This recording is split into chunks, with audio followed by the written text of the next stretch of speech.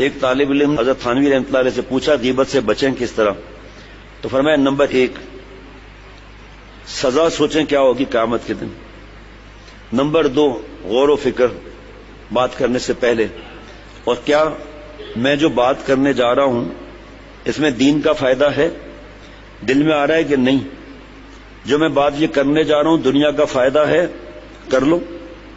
दीन का फ़ायदा है तो कर लो। दुनिया का भी फ़ायदा है तो कर लो। दिल में आता है, न दीन का फ़ायदा, न दुनिया का फ़ायदा, छोड़ दो, फंस जाएँगे। जनाब, माफ़ी चाहना अल्लाह ताला से, कुछ जुर्माना अपने ऊपर नकद का या नवाफिल का रखना। भाई, जबान का बीस गुना है ना। अब क्या है जबान रुकती नहीं? आज चार रकात नफिल पढ़ना है, दो दो करके। नहीं सुधरा, छह रकात। नहीं सुधरा, सौ रुपए सदका। मज़ा आया, खट से सौ रुपए निकाल दिया, नहीं तो अब दो सौ रुपए दो। हता कि पाँच सौ से अगर तकलीफ़ नहीं होती तो हज़ार दो। ऐसा कि तकलीफ़ हो। आखिरी इलाज क्या है? अभी सुधर नहीं रहा। जिसकी गीबत की हो, उसको बता दें कि मैंने आपसे वैसे बताना मना है, ये भी बता दूँ।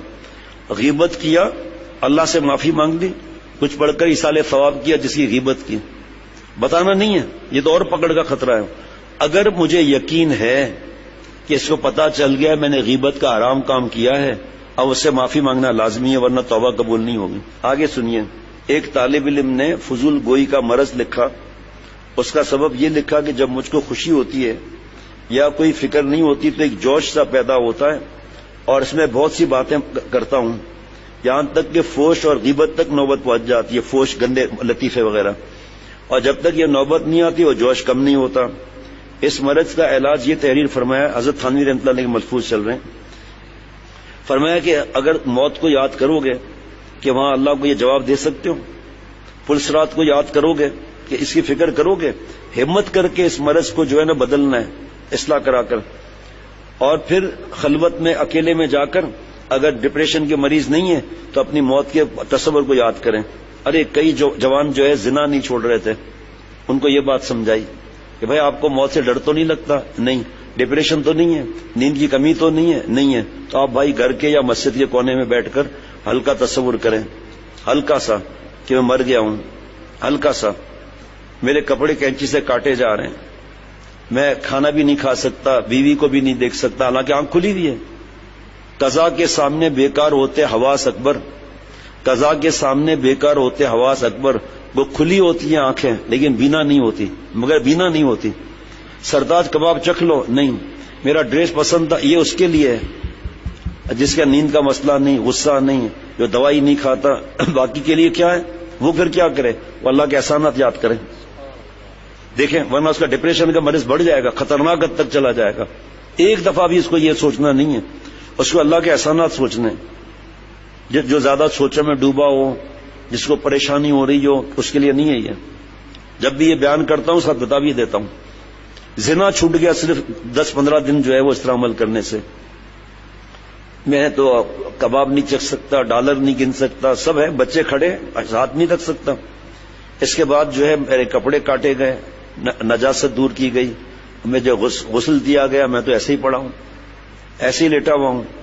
फिर बदन को सुखाया गया, कफन में लिपटाया गया। जनाब फिर चेहरे पर भी कपड़ा आ गया। चलो छुट्टी। सब रो रहे हैं।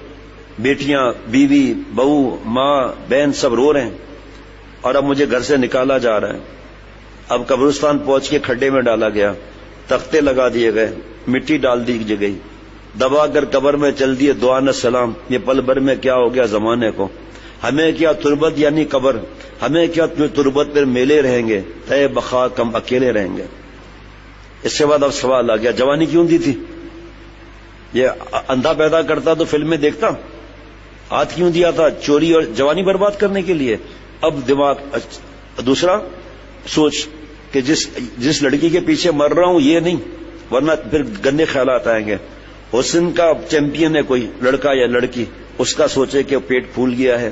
अब जो है कीड़े खा रहे हैं, आँख से फुटबॉल, दांतों से क्रिकेट शर्म की जगह पर दस हज़ार कीड़े, आओ इश्क लड़ाओ, आओ गंदे काम करो आकर। दस दिन सिर्फ़। सच, ऐसी तौबा की कि आज दिन फैला रहे मैं बताऊँगा तो नहीं। अब एक दो मिनट की बात बाकी रह गई, वो बता देता हूँ। फरमाया, इस तरह सोचने से मौत का, इस तदबीर से मरज का इलाज तो फ़ौरन हो जाएगा। फिर अगर जोफ तबीयत से, हैबत के गलबे से तकलीफ़ होने लगे तो अल्लाह ताला की माफ़ी को सोचो। जैसे कोई कहे कि भाई मुझे घबराहट होती है तो कोई गुनाह नहीं है। फिर इसको सोचना चाहिए। अल्लाह की नहमतों को सोचना चाहिए। अल्लाह की रहमतों की सौ कत्ल के मुजरिम की माफ़ी जिसको हम पर एतमाद हो बयान ले लें बुखारी चली हदीस अरे अल्लाह ने सौ कत्ल के मुजरिमों को माफ़ किया है, जी? अल्लाह ताला ने एक नेकी किसी ने दी उसका भी काम बन गया उसका भी काम बन गया। तो फिर हिम्मत बढ़ेगी कि अब तो मैं गुना नहीं करूँगा वरना अल्लाह ये नेमत हमको नहीं देंगे। बहरहाल बस एतदाल हो जाएगा। और असल खुशी रह जाएगी, गुनाह नहीं करोगे। फजूल हिस्सा खुशी का जाया हो जाएगा।